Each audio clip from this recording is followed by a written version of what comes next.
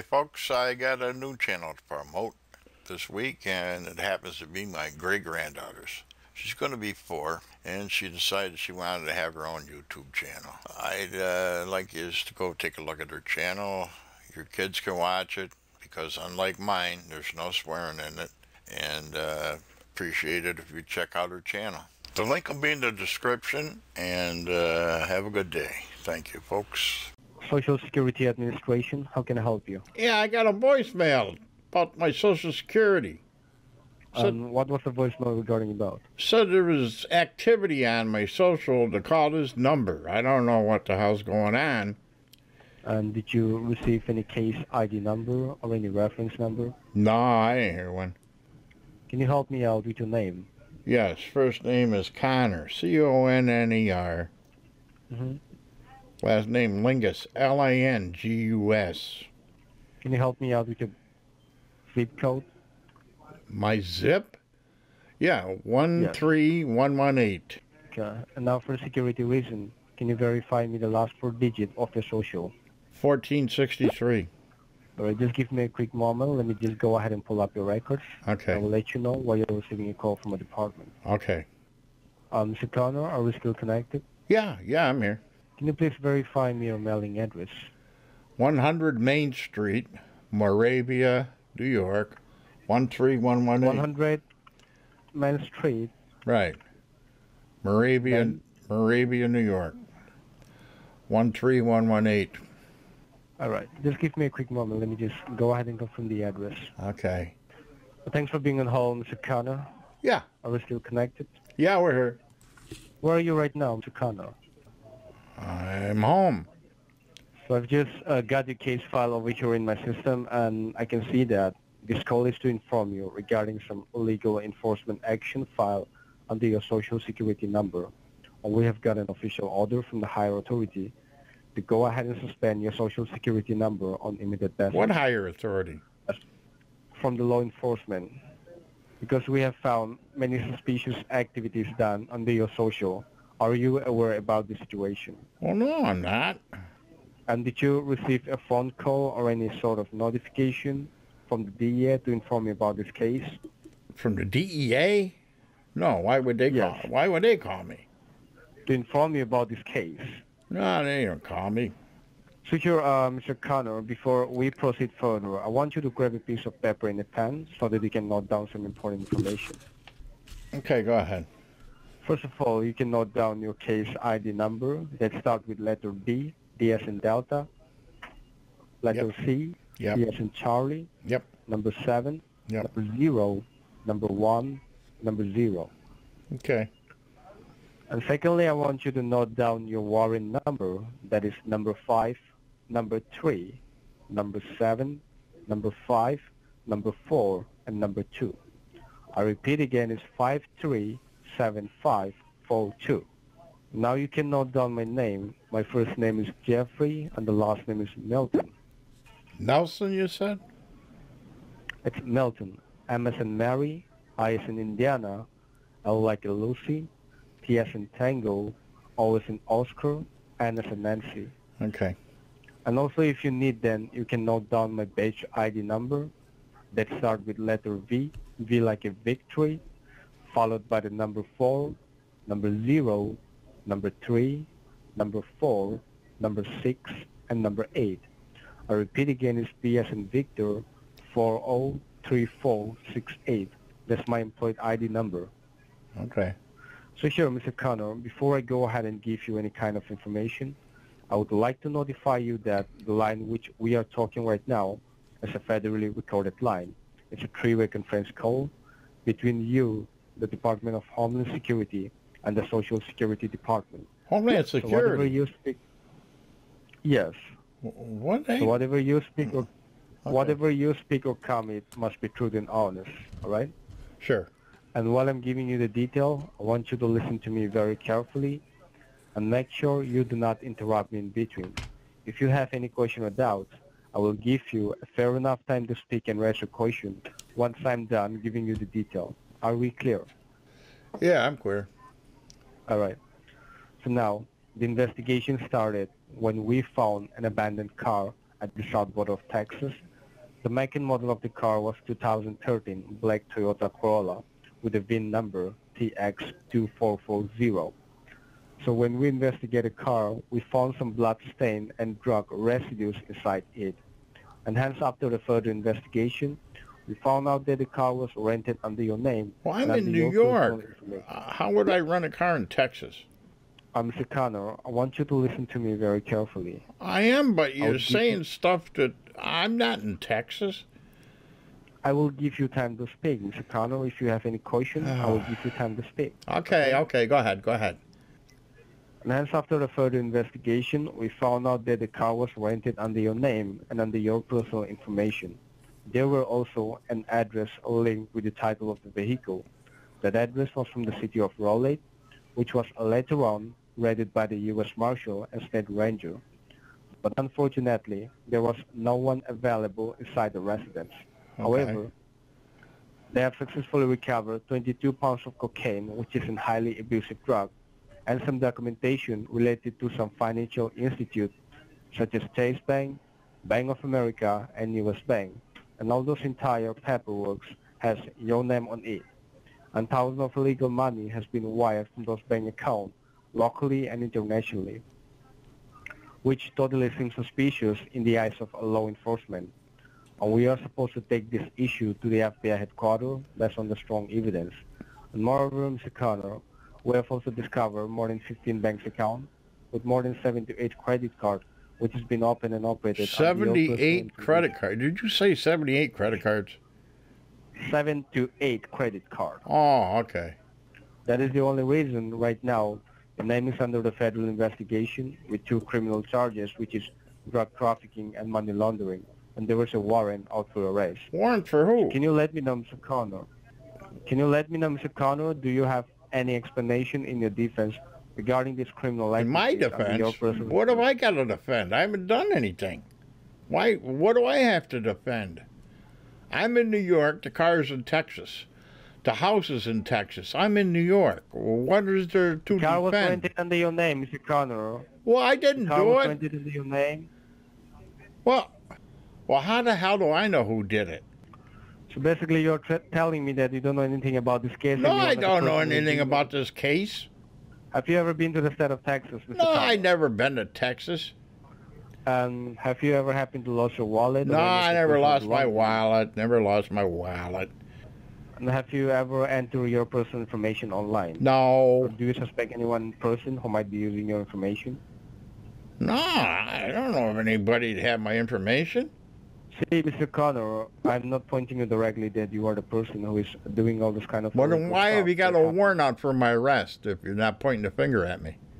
But the thing is that we believe that it might be a case of identity theft, and we think that somebody might have Well, got so do to steal this I. So why have you got a warrant out for me? Because right now, you, you are the primary suspect in the eye of the government. Everything that took place at the south border of Texas, I'm in New York.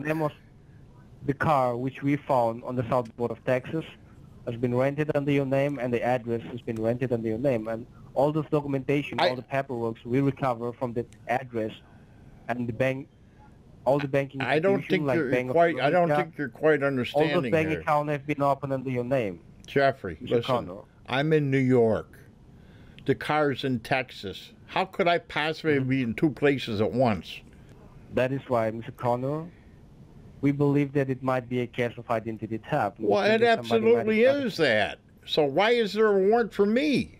Why don't you put a warrant out for the person who stole my identity? Mr. Connor, you are the primary suspect in the eye government. Your information was involved on those criminal activities. Your name was involved on those criminal activities. So that makes me a suspect because somebody used my name. Exactly. That's the reason I was asking you whether you have lost your wallet or any of your personal belongings. Boy, oh boy. So what am I supposed to do here? And Connor, we were not supposed to give you a call today. We were supposed to send the local cops directly to get you arrested, but we have Local also gone your cops. Well, why would the local cops come to my house? I told you, Mr. Connor, you are the primary suspect in the eye of the government. And I Government told you I can't be a suspect because I can't be in two places at once. All right, now let me just do one thing. Let me just connect your call to one of my senior officers, who is the authorized person regarding your case. All right? So let you know what you need to do in order to remove your name from the sensitive case of yours. Well, Right. yeah, you got to remove my name. Just had a word with one of my senior officers and see if something can be worked out. All right. My Uh, job is just my job is just to give you the information. Okay. All right. All right. Just give me a quick moment. Let me connect your call. Yes, uh, your call has been transferred to Senior Officer Nathan Lee with the DEA Senior Settlement Unit. I believe I'm connected to Connor Lingus, right? That's right. Okay. Now, uh, Mr. Lingus, he was having a word with one of my paralegal officer at the Social Security Administration. Yeah, Jeffrey Milton. And- he says something about some car in Texas. I'm in New York. Some house in Texas. I'm in New York. But there's a warrant for me. Yeah, as per the conversation, you are saying that you don't have any idea or knowledge. Well, no, I don't have any idea. social. No. And that's the reason, uh, Mr. Lingus, your call has been transferred to our department, stating that you have a positive intention to cooperate with our department to remove your name from this case, and also to find out. Well, just real cause for remove it. I, I didn't do it. Yes, but first we have to, we, wo- we, you will have to cooperate with our department so we can first of all cancel your arrest warrant. Because the first thing is, if we are not able to cancel down your warrant, then we will have to follow the legal procedure by taking you in custody for further investigation. But as you are saying that Taking me into involved in custody? case, I didn't do anything. first, okay? Oh. Connor, listen to me very carefully. Well, you're making me Okay. upset here. I'm 70 years old and you're That's- talking about sending the cops. Connor, I'm not here to make you upset. I'm here to help you. Because as you are saying that you are not involved in the case, I have checked your past record and your past information in our system, and I simply find that you don't have any case like drug trafficking or a case of money laundering. Well, no, I don't have none of that. Federal organization in your past. And that's the reason I have already updated your past record and your information to the courthouse and also the recent development of the case, stating that you are not involved in the case and it seems that somebody have access to your personal information, maybe a criminal or criminal organization. Well, I'm sure it's a trying to take criminal. Yeah, I mean, that, that doesn't take an Einstein. trying to use, yeah. So first thing, like, uh, make sure you don't hang up the line or put the call in a mute because we have already updated your information to the courthouse and the cancellation process. Uh, we are starting the cancellation process of your arrest warrant. Yeah, do So that. until Cancel I that. confirm, until I, until I get the confirmation from the courthouse that your warrant has been canceled, that all the false charges has been removed from your name, you make sure do not hang up the line or put the call in a mute. Okay? Yeah, sure. And once once we are able to cancel your warrant, uh, I will be setting up an appointment for you on the recorded line. You will get the name of the federal officer and the batch ID who will physically come tomorrow at your doorstep to provide you the paperwork to get you more detail of the case by having a counseling session with you. counseling after the session. counseling Well, session, I'm 70 will years old. I, I, I'm 70 years old. What do I need counseling on? They will have to explain you and get you a new social so we can make sure that you don't face this type of legal Well, I certainly don't need any counseling. It's up to you. But first thing, we have to cancel your warrant. Well, and I also it. have to inform you that right now we have to freeze and shut down all the bank accounts, which are being opened on your name and which are linked to your social. Because in your file, uh, Mr. Lingus, right now there is exactly 21 bank accounts. Which I only got opened. one. I got one. So we are going to shut down the bogus accounts which are opened by the Okay. imposter, and we make sure that we safeguard your personal account. Okay? Okay, shut down So, his I and will leave mine alone, and I we're will all up- set. Okay. So I will fill up the asset verification form for you, and I will update this to the Treasury Department, so they can differentiate which are your legal account and which are the imposter account. So first thing first, can you help me out with the name of the bank that you are banking with? Bank of Warsaw. Bank of? Warsaw. Just one second. Let me check that first. You say Morsa, right? I said what? Just one second. So can you help me out? It's that Morsa or Martha? Warsaw. W A R S A W. Okay, Warsaw Bank. I got you. Now, in the Warsaw Bank, uh, do you have a checking or saving type of account? I got both. Okay. So what I'm doing is I'm updating this to the Treasury Department so they can take this information behalf of you as like your statement and with those basic details they will just put your account on the safe side because we don't want your account to be getting free. Near do Okay. I. So you have a checking and a saving in the Bank of Warsaw, right? Yes, yes. Okay. The last thing is you have to verify me on the recorded line the exact amount which you have in your checking at this point of time. My checking, probably 1800 1800 and I believe that that is not the exact amount, right? Oh, I'm guessing. It's close. Okay. And what about your saving? 2500 2500 Now, as this information will be verified at the Treasury Department to verify you and to verify those details to make sure that these are your legal accounts. And with this information, your account will be safeguarded in case if the information is not up to the date. Okay. Then we will just simply freeze your account and you cannot blame our department for that. Freeze my account. Of course I'll blame your department. I. Why are you freezing mine?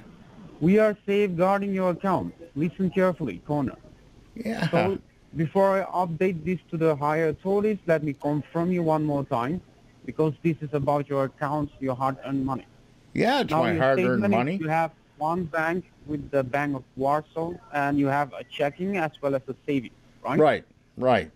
And in your checking you have like $1,800. That's So right. I believe you don't have more than $2,000, right? Oh no! If I had more than two thousand, I'd tell you. I got eighteen hundred. And in your savings, $2,500, right? Yeah, right. Not more than 3000 Okay. No. So yeah, Mr. Conner, just be on the line. Let me forward this on an immediate basis because before the investigation takes place on your accounts, which are linked to your social, before the account will be getting traced, I will have to update this to the treasury officer, and then they will guide you with the proper instruction to make sure that your account will be safeguarded. Okay? Okay. Just give me one minute. Okay. Hello, uh, Mr. Lingus, can you hear me? Yeah. So right now, as I have the update from the higher authorities, as your account, the Bank of Warsaw is also linked to your social, uh, and as per the information, there is some illegal or suspicious activities taking place in your account as well, and that's the reason your account will be uh, on hold. Is it will be going through a special type of investigation process at the Wait, department. I thought mine was going to be all right. You said. Exactly. So before the investigation takes place, what you need to do is you will have to go down to your bank and you just have to safeguard the amount which you have in your checking and in your savings. So I got to So take all that money not out and bring it home with me. I. I don't want to bring all that money, carry it around. No, no. I'm 70 years old. I'm not carrying all that money. You are not carrying the money. Listen first, okay? Some young You just punk come up and stole it from me. Nobody stole them. Uh, nobody is going to steal the money from you. Are okay? you going to Those come with me and protect me? Are you going to send a policeman with me? See, Mr. Lingus, what you need to do is you just have to withdraw the money from your bank and you just have to secure the money in a form of a plastic federal bond. So in that way you will be able to safeguard the money as well as that funds will be legally registered on your name if you safeguard those funds in a form of a bond. Ah. And tomorrow once the officers show up at your place, once they help you out with every of the paperwork, you just have to show them the bonds which you will be safeguarding today and after that the money will be credited back to your account or it will be refunded back to you in a form of a certified check. So that will be an option for you. Okay, how about if I how about if I just take the money home with me for an option? No, you cannot just keep the money with you. Why not? Because it's my money. Right now, you it's need my to money. know that you It's are my money. You and your account. Right now, Mr. Lingus, if you can understand what I'm saying, then I can help you. Okay. If you don't understand, you will make mistake, which will put you and your account in a legal trouble. So listen very carefully, okay? I'm not here to play with you. I'm not here to waste your time, okay? Play with so me. first, tell me, like, uh, Mr. Lingus, how far is the bank from your place? How much time will you take to reach your bank? Oh, I can't go there anyways. It's a snowstorm. You can get your get in a car and you have to go to your bank. There is the a snowstorm, I said. There's only emergency travel allowed. Yeah, you can travel because it's an emergency for you. How is this an emergency? Because if you not, The if sheriff said, the sheriff was on TV, said all cars stay off the road except for emergency travel. It's up to you, Mr. Lingus, because it's your money, not my money, okay? The money which you have in your account are your hard-earned money. If you cannot go to your bank and secure your money, you'll just lose all the money as well as you get your account on hold. So you want me to go out Or in a it might not- snowstorm and go to the bank and get this money? See, you might have some problem with the transportation, but you can find a better way. Find a better way. I don't. Ha- I haven't got a snowmobile. How? I don't know what you're talking about here. Okay, then you just do what you need to do, okay, to safeguard your money. I don't think I can help you because first thing you are not uh, willing to go to your bank. I, I didn't And say I wasn't willing. information, I said I, I. Uh, Mr. Lingus, as per the weather information I have checked in the system, I see that you have a very good weather at your place. I don't oh, No, see I any don't. It's snowing like a son of a bitch here. Okay. So you just try your best and make sure you contact your lawyer. I don't so have a lawyer. represent you in courthouse. I don't Yes, have a criminal lawyer. lawyer. I don't have one. Ahora pringado tu mother truck. Oh boy. Social Security Administration. How can I help you? Yeah. Well, I got to talk to Nathan Lee. I was talking to him. We got disconnected. Nathan hmm. Lee. Yeah. Okay, can you please hold up? Yeah.